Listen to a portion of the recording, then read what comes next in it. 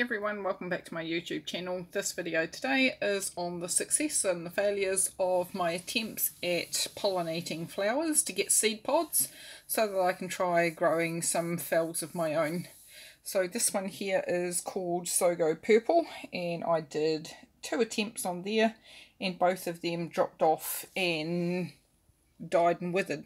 This one here stayed a little bit longer, but I'd been away for six days. I think she got a bit warm in the sun and maybe didn't quite have enough water on the plant.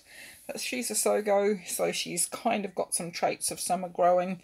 She's going to give me some more blooms and I'll be able to try again, but probably not with what I crossed her which, with, which is this one here.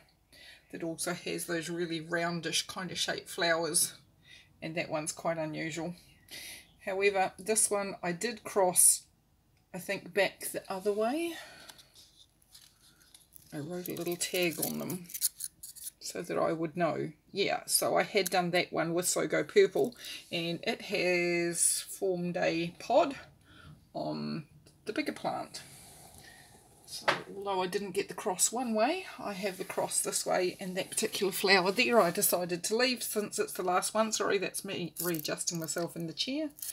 Um, so yeah, that one there, I think I did two crosses on and one of them fell off as well. So as long as I have one, and this is how weird and kind of ugly they look, the petals all dry up. It all swells in the middle there.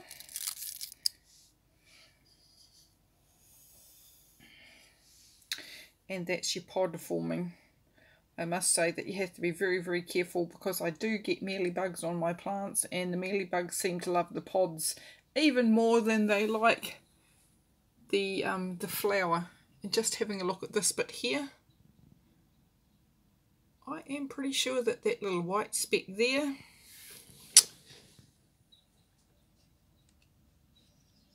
Oh, no, that's all right. It was a bit of fluff.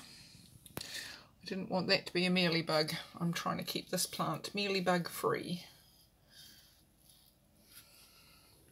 It's just as easy to use the camera on the phone to inspect it because it will bring things up a little bit better than I can see. And yep, that one there is definitely a mealybug. Now dead mealybug. So that one might have to get another spray with the insecticide. Okay, so one didn't work, one did work on that plant. So over here we have another one that I have in some of my other videos. Now this is a really busy little mini Phal. So this little mini Phal is in a few of my videos with her keiki. And I've been away for a few days and I've come back and I see that her keiki has its first root. So she's a busy girl and I pollinated one of these with another little mini. So there again we have the shriveled up petals and the ovary of the flower has kind of swollen and on the back we have not much growing yet. But that should hopefully start to swell up if I keep this plant nice and happy and healthy. Um, that one should be growing. So we have some nice new roots, aerial roots with a good growing tip on there.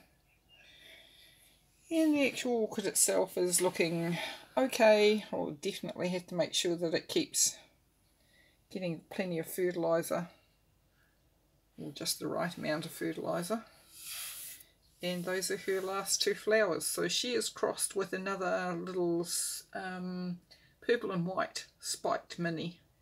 So that will be quite interesting to see how that one turns out. Okay, so I also did Cleopatra, which I did Cleopatra, I crossed her by herself. So I took the pollen from this flower here, which I knew would be the first flower to go, but I did them when the flowers were quite young and fresh. And I cross self-pollinated it with this one up here. So again we have that ovary swollen, the petals all drying, and the pod starting to form. So that one is Cleopatra by self. So that one was a success. That was the only one on that plant I tried because it was a new plant. First year I'd ever owned it, but who wouldn't want more of those? That's just so cute. Well, I think that's just so cute. Just so beautiful. So to try and keep her away from mealybugs, she stays in my bedroom.